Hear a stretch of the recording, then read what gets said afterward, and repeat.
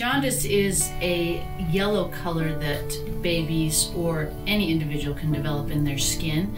It's particularly concerning in the newborn period because if you have a high level of jaundice, you can cause some brain abnormalities and some movement abnormalities later on. So we're pretty vigilant when we're looking at jaundice in babies. Jaundice is caused by red blood cells breaking down. There's an element of red blood cells called bilirubin that's released when they're broken down. Most of us process that through our livers. Newborns aren't quite ready to process all of that, so the, the bilirubin sits in the skin and causes their skin to be yellow, their eyes are yellow. Um, the most important thing is to get babies eating because bilirubin is excreted in the stools. So if they're eating well and having lots of poopy diapers, they'll get rid of the bilirubin. Occasionally, if it's too high, we have to put them under lights because UV light breaks down the bilirubin so kids can excrete it more easily.